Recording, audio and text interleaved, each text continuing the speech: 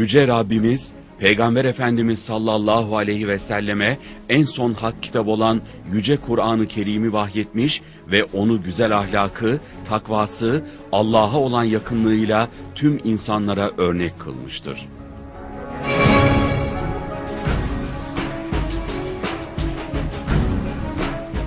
Peygamberimiz sallallahu aleyhi ve sellemin kendisine risalet geldikten sonra hayatının sonuna kadar sürdürdüğü kutlu tebliği bugün de tüm dünyayı aydınlatmaya devam etmektedir.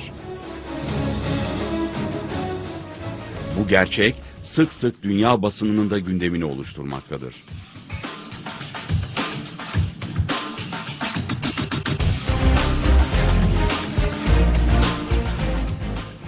Başta BBC olmak üzere pek çok televizyon kanalı Hz. Muhammed sallallahu aleyhi ve sellemi anlatan belgeseller yayınlamış, özel konukların davet edildiği sohbet programları düzenlemiş, Resulullah sallallahu aleyhi ve sellemi anlatan dizi programlar hazırlamıştır.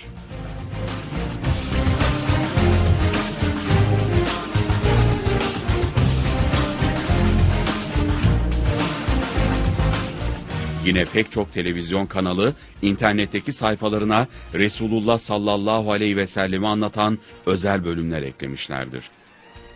Bu sayfalarda İslam tarihi, Peygamberimiz sallallahu aleyhi ve sellemin hadisleri ve Kur'an ayetleri yer almakta, okuyucular istedikleri takdirde daha kapsamlı bilgi veren sitelere yönlendirilmektedir.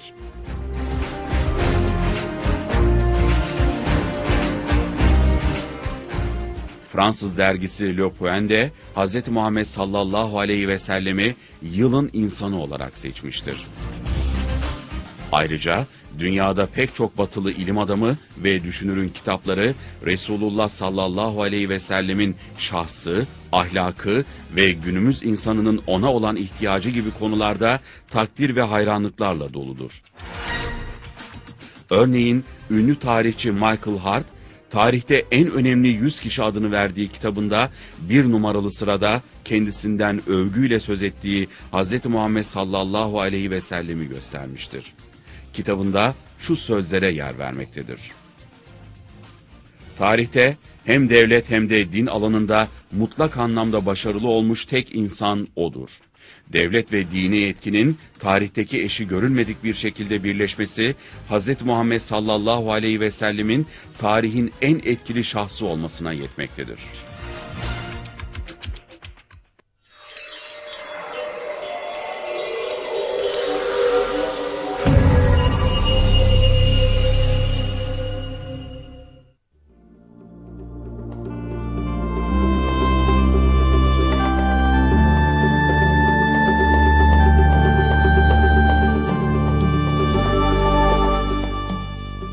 Resulullah Efendimiz sallallahu aleyhi ve sellemin yaşamını inceleyip onun ahlakını örnek model olarak gösteren batılı profesörlerden biri de Uluslararası İnsan Hakları Hukuku Enstitüsü Başkanı Profesör Şerif Basyuni'dir.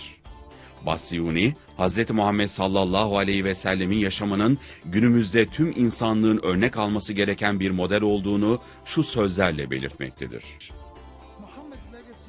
Hz. Muhammed'in mirası açıktır ki ektiği tohumdur. Bu, onun erdemliliği, dürüstlüğü, güvenilirliği, örnek davranışları, siyasi liderliği, bireysel olarak örnek bir insan oluşu ve zamanında kimsenin izin vermediği fakat kendisinin gerçekleştirdiği büyük başarılar, yenme gücü ve nefsinin onu yenmesine izin vermemesidir. Her şeyden öte örnek alınacak büyük bir insandır.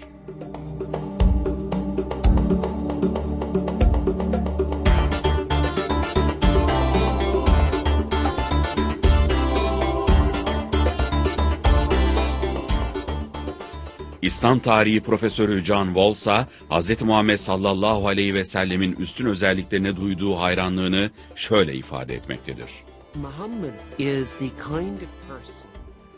Hz. Muhammed, 21. yüzyılda yaşayan bizlerin bir araya getirebilmek için çabaladığı, hayatın siyasi, askeri, toplumsal, dini ve akli boyutlarını bir araya getirebilen bir insandır.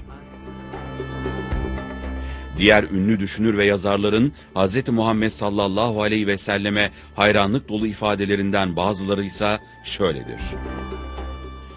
1935'te Nobel Edebiyat Ödülünü almış olan İrlandalı yazar Bernard Shaw, Gerçek İslam adlı eserinde Hz. Muhammed sallallahu aleyhi ve sellemi insanlığın kurtarıcısı olarak tanımlamaktadır.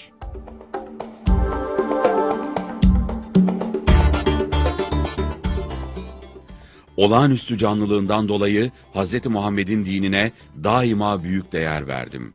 Bu din bana varlığın ve hayatın değişen çevresini özümseyebilen ve her çağa hitap edebilen tek din olarak görünüyor. O harika zatı da inceledim ve o bana göre insanlığın kurtarıcısı olarak çağrılmalıdır. İnanıyorum ki onun gibi biri modern dünyada hükümdarlığı ele geçirecek olsa bu dünyanın en çok ihtiyacı olan barış ve mutluluğu sağlayacak bir tarzda bütün problemleri çözer. Bir öngörüm var. Hz. Muhammed'in inancı yarının Avrupa'sında kabul görecektir. Nitekim bugünün Avrupa'sında kabul görmeye başlamış bulunmaktadır.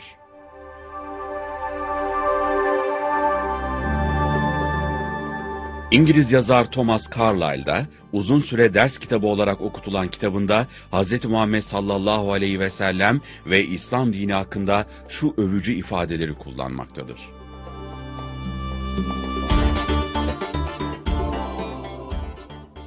Eğer İslam hakikatlerinde şüphe etsen, çok açık ve kesin biçimde kabul edilmesi gereken hakikatlerde şüphe etmişsin demektir. Çünkü en açık ve tasdik edilmesi gerekli bir hakikat, İslamiyet'in kendisidir. En evvel kulak verilecek sözlerin en layıkı Muhammed'in sallallahu aleyhi ve sellemin sözüdür. Çünkü hakiki söz onun sözleridir.''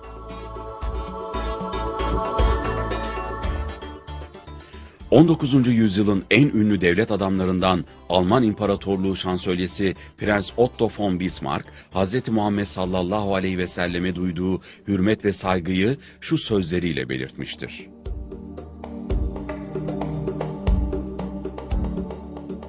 Ben bütün semavi kitapları inceledim. Tahrif olmaları nedeniyle insanlığın mutluluğu için aradığım hakiki hikmeti bulamadım.'' Fakat Hz. Muhammed sallallahu aleyhi ve sellemin Kur'an'ını bütün kitapların üstünde gördüm. Her kelimesinde bir hikmet buldum. İnsanlığın mutluluğuna hizmet edecek Kur'an gibi başka bir eser yoktur. Böyle bir eser insan sözü olamaz. Hz. Muhammed sallallahu aleyhi ve sellemin sözüdür diyenler ilmin gerçeklerini inkar etmiş olurlar. Kur'an'ın Allah kelamı olduğu apaçık bir hakikattir. Senin aslında yaşayamadığımdan dolayı çok üzgünüm ey Muhammed. Kur'an Allah'ın kitabıdır. İnsanlık senin gibi bir kabiliyeti bir defa görmüş, bir daha göremeyecektir. Ben senin önünde hürmet ve saygıyla eğilirim. Fransız tarihçi Lamartine ve Yahudi yazar Jules Masserman, Peygamber Efendimizin en büyük insan olduğu fikrinde birleşmektedirler. İnsan büyüklüğü hangi ölçüyle ölçülürse ölçülsün, acaba Hz. Muhammed'den daha büyük bir insan bulunur mu?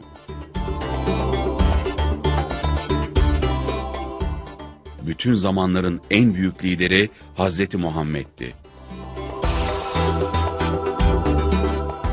Hindistan Bağımsızlık Hareketi'nin siyasi ve manevi lideri Mahatma Gandhi ise Resulullah Efendimiz sallallahu aleyhi ve selleme beslediği hayranlığı şöyle dile getirmektedir.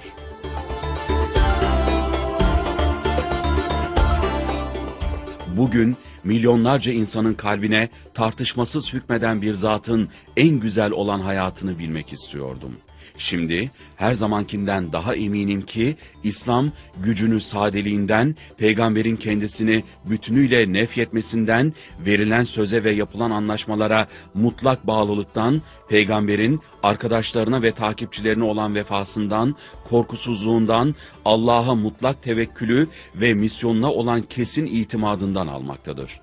Peygamberin hayatının ikinci cildini bitirdiğim zaman bu büyük hayat hakkında daha fazla okuyamayacağım diye gerçekten üzüldüm.